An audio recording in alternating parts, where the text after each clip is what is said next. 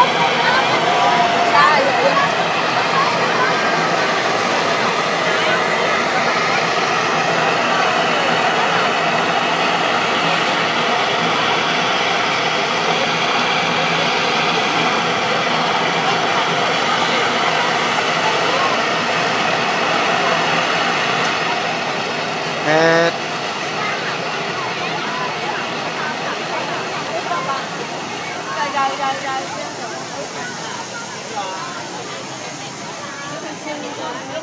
chắc còn lần này hả bao lần